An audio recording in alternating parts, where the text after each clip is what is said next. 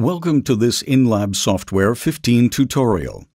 In this video, you will learn how to predefine the settings of the InLab Software 15 according to your individual needs. With the new InLab Software 15, you can now save your own settings under Configurations. Click on the orange arrow and go to Configurations. You can integrate additional programs into the software via the App Center. Make sure that these are already installed on your computer, such as the Partial Framework software. You can manage these here. Under Settings, you have the option of setting up generic machines, from another manufacturer for example. Click Machine Plus Assign a name to the device and enter the machine properties, for example, whether it is a 3, 4, or 5-axis machine. To allow the inner lumen to be calculated correctly, you can set the diameter of the smallest instrument and define whether it is shaped cylindrical or spherical. Mark the respective field. To transfer the data directly to your CAM software, you can define the export path to which the restoration data is to be saved. Enter the data path. Confirm your settings by clicking OK to save the generic machine. It can now be selected in the Administration menu. Clicking Back returns you to the Configuration menu you have the option of hiding materials so that these are not shown in the software. To do this, click the name of the relevant manufacturer. Here, you can now activate or deactivate materials.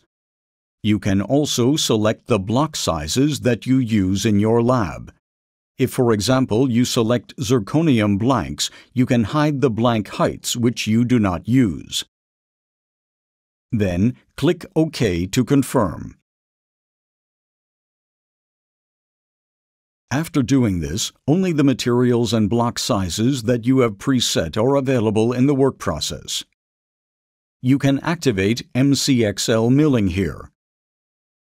Based on the information shown and the serial numbers displayed, you can check whether your device is approved for this setting. Click on this symbol to set the language.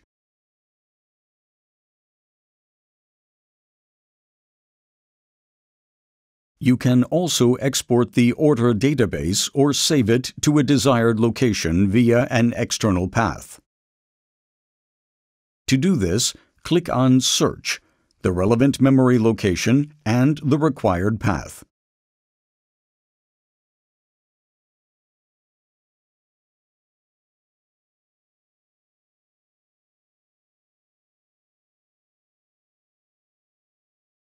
Click on the desired target folder and confirm with OK. You can also export the workpiece database. When you are in the milling preview or production step later in the work process, you can save all restorations in this predefined CAM folder.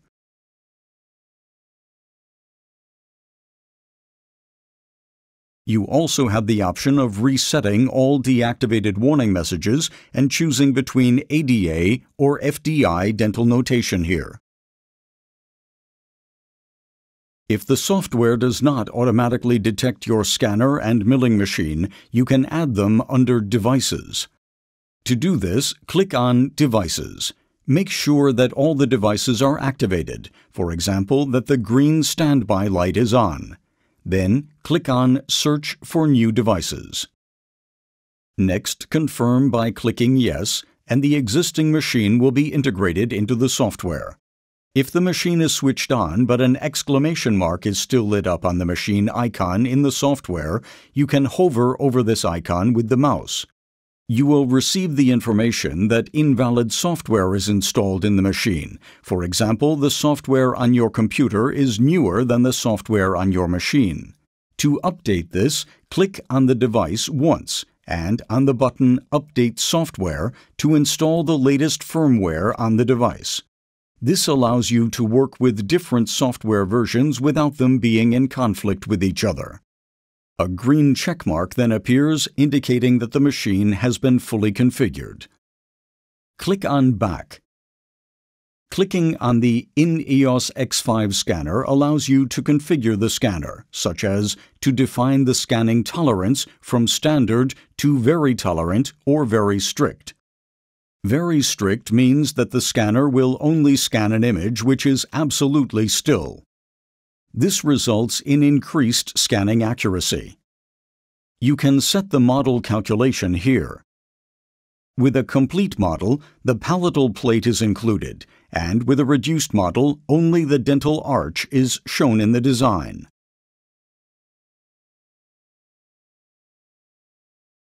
The software displays the scan in line with the presettings in the design mode.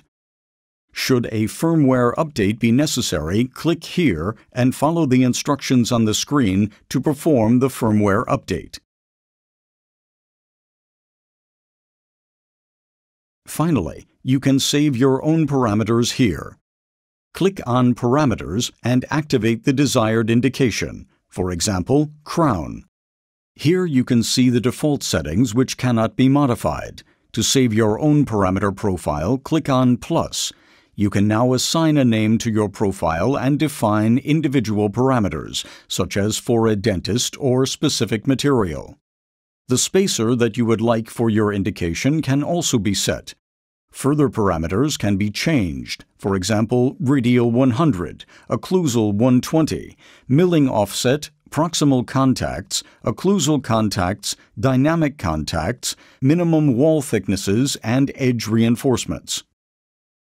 Confirm with OK in order to be able to select between the default settings and the individually set parameters at the parameter stage during construction. These parameter profiles can be saved for all indications offered by the software. Thank you for watching.